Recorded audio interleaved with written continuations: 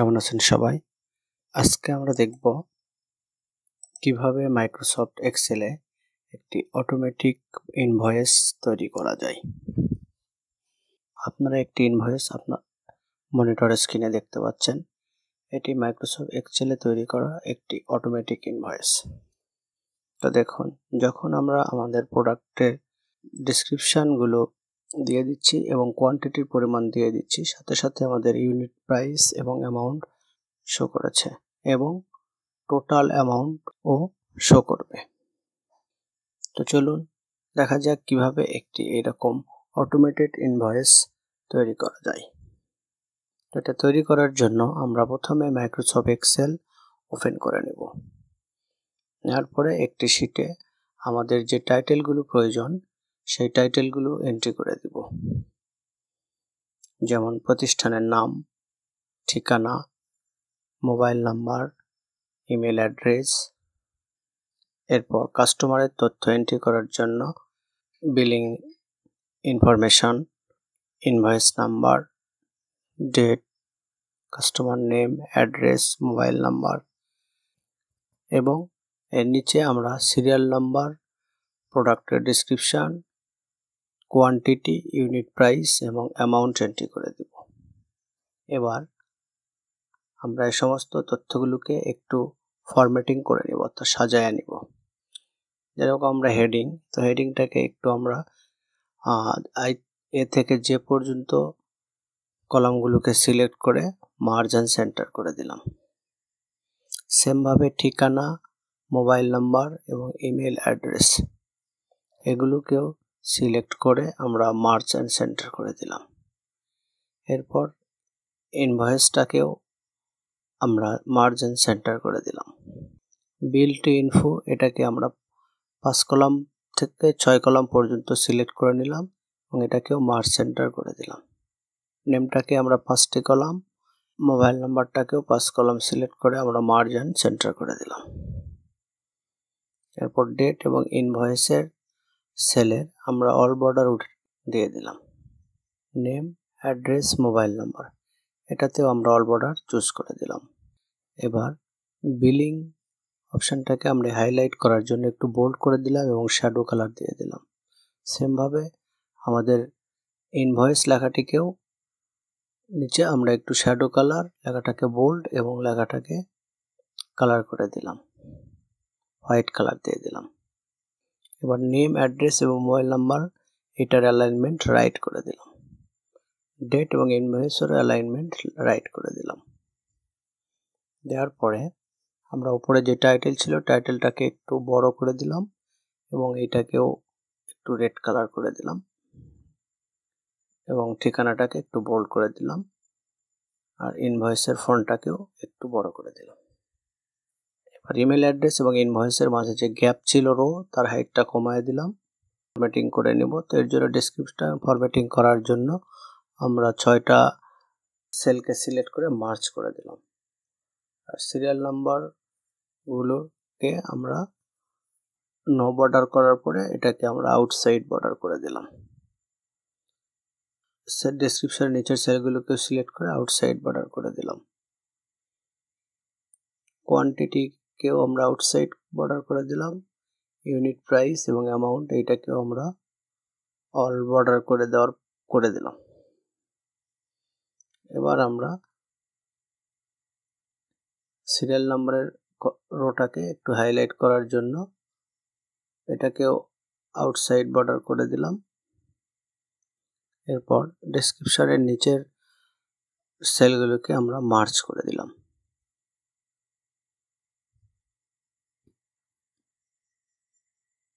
তো দেখুন, সবগুলো সেলকে আমরা মার্চ করে দিয়েছি। এবার ইউনিট প্রাইস অল বর্ডার উঠে দিয়ে আমরা এটাকে আউটসাইড বর্ডার করে দিব। অ্যামাউন্টটাকে আমরা আউটসাইড বর্ডার করে দেব। এবং নিচে আমরা আরও চারটি সেলকে সিলেক্ট করে সেগুলো অল বর্ডার করে দিলাম। এগুলোতে আমরা লিখতে চাচ্ছি যে প্রথমটাতে থাকবে টোটাল। এর নিচের সেলে থাকবে হচ্ছে VAT five percent service charge two percent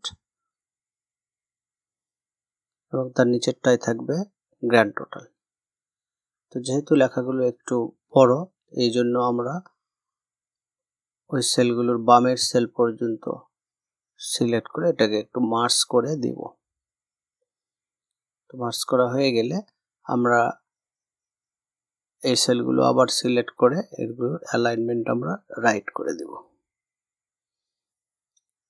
এবার টোটালের পর একটা ইকুয়াল দিয়ে দিলাম এবং গ্র্যান্ড টোটালের পরে আরেকটা ইকুয়াল দিয়ে দিলাম সুন্দর লাগার জন্য এবং টোটাল এবং গ্র্যান্ড টোটালটাকে আমরা একটু বোল্ড করে দিলাম।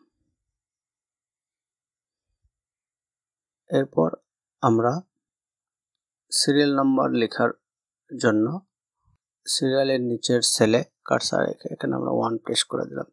তো এটাও ডান পাশে অ্যালাইনমেন্ট আছে এটাকে আমরা একটু সেন্টার করে দিলাম। এবার ডিসক্রিপশন তো ডিসক্রিপশন আমরা এখানে লিখেও দিতে পারি, কিংবা আমরা যদি অটোফিলের মাধ্যমে ডিসক্রিপশন করি, যে আমাদের অন্য শিট থেকে এটাকে কালেক্ট করি ডেসক্রিপশানগুলোকে তাহলে আমরা ডেসক্রিপশান সেলে কারসারটা রেখে ডাটা মেনু থেকে আমরা ডাটা ভ্যালিডেশন অপশনে ক্লিক করে দেব।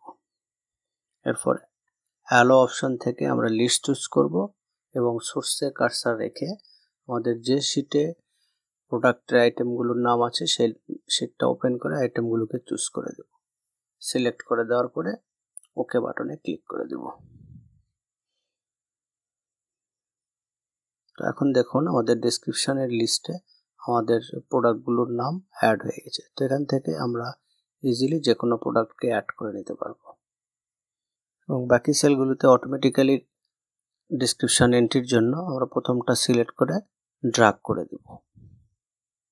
যেহেতু এখানে প্রত্যেকটা সেল বর্ডার চলে এসেছে, তো আমরা এটাকে নো বর্ডার অপশানে ক্লিক করার পরে আউটসাইড বর্ডার অপশানে আবার একটু ক্লিক করে দেব।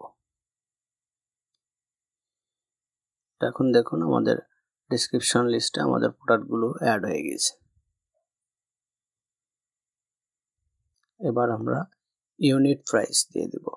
তো আমরা যদি চাই যে ডিসক্রিপশন লিস্টে আমাদের যে লিস্টের যে প্রোডাক্টগুলো আছে, সেগুলো এন্ট্রি করলে সাথে সাথে যেন সেগুলোর প্রাইসটি শো করে অটোমেটেড তাই অটোমেটিক্যালি প্রাইসটাই ইউনিট প্রাইস শো করার জন্য এটাও আমাদের আলাদা শিটে এন্ট্রি থাকতে হবে। তো সেখান থেকে ডাটা কালেক্ট করার জন্য আমরা ইউনিট প্রাইসে একটি ফর্মুলা লিখব। তো ফর্মুলার শুরুতেই আমরা ইকুয়াল সাইন দিব। দেওয়ার পরে আমরা এখানে ভি লুকআপকে কল করব। করার পরে আমরা লুকআপ ভ্যালুর জায়গায় আমাদের ডিসক্রিপশানের সেল অ্যাড্রেসটি দিয়ে দিব। এরপরে কমা দিব। এরপরে টেবিল অ্যারে টেবিল অ্যারের জন্য যে টেবিলে আমাদের প্রোডাক্ট নেমগুলো এবং রেটগুলো আছে, সেই টোটালি ডাটাগুলোকে সিলেক্ট করে নেব। এরপরে এখান থেকে ফর্মুলা বারে আমরা যে ডাটা অ্যাড্রেসটা আছে, এখানে কমা দিব। দেওয়ার পরে এখানে কলাম নাম্বার অর্থাৎ কোন কলামে আমাদের রেটগুলো আছে, সেই কলাম নাম্বার লিখে দেবো। তো আমরা টু লিখে দিয়ে নাল ভ্যালুর জন্য আমরা জিরো দিয়ে ইন্টারফেস করব। তো দেখুন এখানে ইউনিট প্রাইসে ইরোড দেখাচ্ছে। তো ইরোডটাকে রিমুভ করার জন্য আমরা ইফ ইরোরকে কল করব। ইফ ইরোর লেখার পরে একেবারে শেষে কমা দিয়ে আমরা এখানে নাল ভ্যালুর যে ব্লাঙ্ক থাকবে, এই জন্য আমরা ডাবল কোটেশন ডাবল দিয়ে ফার্স্ট ব্র্যাকেট দিয়ে ইন্টারফেস করব। এবার দেখুন ডিসক্রিপশন থেকে কোনো প্রোডাক্ট চুজ করলে তার ইউনিট প্রাইস অটোমেটিক্যালি অ্যাড হয়ে যাচ্ছে। এবার আমরা টোটাল ইউনিট প্রাইসটাকে অটোফিল করে নেব। তো অটোফিল করে নেব। তো এবার দেখুন আমাদের প্রোডাক্ট নেম দেওয়ার সাথে সাথে বাকিগুলোর ইউনিট প্রাইস অ্যাড হয়ে যাচ্ছে। এবার যদি আমরা কোয়ান্টিটি দেই, তাহলে ইউনিট প্রাইস আছে, কিন্তু এখানে আমাদের অ্যামাউন্টটি বের করতে হবে। তো অ্যামাউন্ট বের করার জন্য আমরা কোয়ান্টিটির cell address into unit price cell address লেখার পরে এন্টার দিয়ে দিব। এবার এটাকে অটোফিল করার জন্য মুভ করে দিব। তো দেখুন এখানে ইরোড দেখাচ্ছে। ইরোডটাকে সলভ করার জন্য আমরা ফর্মুলার আগে ইফ ইরোডকে কল করব। করার পরে ফর্মুলার শেষে কমা দিয়ে আবার ব্ল্যাঙ্ক ডাবল কোটেশন দিয়ে ফার্স্ট ব্র্যাকেট ক্লোজ করে দিয়ে এন্টার দিব। এবার যদি আমরা অটো ফিল করি, দেখবেন যে এখানে ফাঁকা জায়গায় ফাঁকাই দেখাবে। এখানে কোনো ডাটা এন্ট্রি দেখাবে না। তো যখন আমরা কোনো প্রোডাক্টের কোয়ান্টিটি দিয়ে দিব, সাথে সাথে তার ইউনিট প্রাইস এবং সেল অ্যামাউন্টগুলো এবার থেকে অটোমেটিক্যালি দেখাবে। এবার এটা একটু সাজানোর জন্য আমরা এটাকে একটু সেন্টার অ্যালাইনমেন্ট করে দিচ্ছি কোয়ান্টিটিকে আর ইউনিট প্রাইসের আমরা সেল বর্ডারগুলো উঠিয়ে দিব নো বর্ডার থেকে এবং এটাকে আমরা আউটসাইড বর্ডার করে দিব। সেমভাবে অ্যামাউন্টের সেল বর্ডারগুলোকে আমরা নো বর্ডার করে দেওয়ার পরে আউটসাইড বর্ডার অ্যাক্টিভ করে দেব। এরপর আমরা চাচ্ছি যে এখানে অ্যামাউন্টগুলোর টোটাল বের হবে। এই অ্যামাউন্টগুলো টোটাল বের করার জন্য আমরা টোটালের ডান পাশের সেলে কারসার রেখে ইকুয়াল সামকে কল করে আমরা এখানে টোটাল সেলগুলোকে অ্যামাউন্টের সিলেক্ট করে ফার্স্ট ব্র্যাকেট ক্লোজ করে ইন্টারফেস করে দেব। দেখুন টোটাল ভ্যালু চলে এসেছে। এরপর ভ্যাট ফাইভ পার্সেন্ট তো এটা মূলত আমরা টোটাল থেকে এর ফাইভ পার্সেন্ট ভ্যাট বের করব। এই জন্য ভ্যাটের এখানে ইকুয়াল দেওয়ার পরে আমরা টোটালের সেল অ্যাড্রেস গুণিতক ফাইভ পার্সেন্ট দিয়ে ইন্টারফেস করব। সার্ভিস চার্জ এটাও টোটালের উপর ডিপেন্ড করবে, তো এই জন্য এখানে ইকুয়াল দেওয়ার পরে টোটালের cell address into two percent লিখে এন্টার করে দেব। এরপর গ্র্যান্ড টোটাল তো গ্র্যান্ড টোটালে আমার টোটাল ভ্যাট এবং সার্ভিস চার্জ যোগ হবে। এই জন্য ইকুয়ালের পরে টোটাল সেল অ্যাড্রেস প্লাস ভ্যাটের সেল অ্যাড্রেস প্লাস সার্ভিস চার্জের সেল অ্যাড্রেস অ্যাড করে দেব। দেওয়ার পরে আমরা ইন্টারফেস করব। এবার আমরা টোটাল এবং গ্র্যান্ড টোটালটাকে একটু বোল্ড করে দিলাম। আর এখানে ইউনিট প্রাইস এবং অ্যামাউন্ট এগুলোর যদি আমরা ডেসিমাল প্লেস চাই, তো এই সেলগুলোকে আমরা সিলেক্ট করে আর নাম্বার গ্রুপ থেকে আমরা এটার নাম্বার চুজ করে দেব। অ্যামাউন্ট টোটাল এগুলো সেম আমরা এখানে নাম্বার ডাটা টাইপটা সিলেক্ট করে দিব। তো দেখুন বন্ধুরা এবার যদি আমরা আবার কোনো একটা প্রোডাক্ট এন্ট্রি করি এবং তার ডিসক্রিপশান দেই ও কোয়ান্টিটি দিয়ে দেই অটোমেটিক্যালি আপনারা দেখতে পাচ্ছেন যে আমাদের এখানে টোটাল ভ্যাট ট্যাক্স এবং গ্র্যান্ড টোটাল বের হয়ে যাচ্ছে।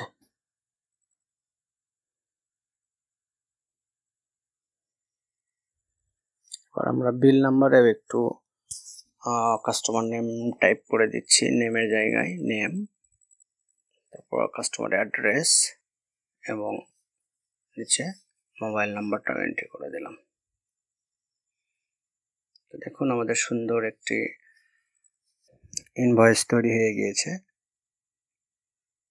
এখানে ডেটের জায়গায় ডেট এন্ট্রি করে দিলাম। একটা ইনভয়েস নাম্বার দিয়ে দিলাম। এখানে দেখুন অ্যামাউন্টের এখানে টোটাল এবং গ্র্যান্ড টোটালে এখানে হ্যাশ শো করেছে। পিছনে কারণ হচ্ছে যে আমার এই কলামের ওয়াইটটা একটু কমে গিয়েছে। এই কারণে আমরা কলামের ওয়াইটটা আর একটু বাড়াই এরপর নিচে আমরা একটু অথরাইজ সিগনেচার অ্যাড করব। এর জন্য আমরা এখানে নো বর্ডার সিলেক্ট করে আমরা দুইটা সেলকে সিলেক্ট করে এটাকে মার্জিন সেন্টার করে দিলাম এবং লিখে দিলাম এখানে অথরাইজ সিগনেচার এবং এর উপরে দুইটা সেল সিলেক্ট করে সেখান থেকে আমরা মার্জিন সেন্টার করার পরে এখানে আমরা বাটন বর্ডার অ্যাড করে দিলাম। এবার পুরো ইনভয়েস এরিয়াটাকে সিলেক্ট করে আমরা এটাকে থিঙ্ক অফ বক্স করে দিলাম। এখন আমাদের ইনভয়েসের একটি বর্ডার শো করছে। এবার আমরা পেজের গ্রিড লাইনটাকে উঠিয়ে দিলাম। তো এখন আমরা একটু প্রিন্ট প্রিভিউ থেকে দেখে নিই আসলে ইনভয়েসটা আমাদের কেমন হয়েছে।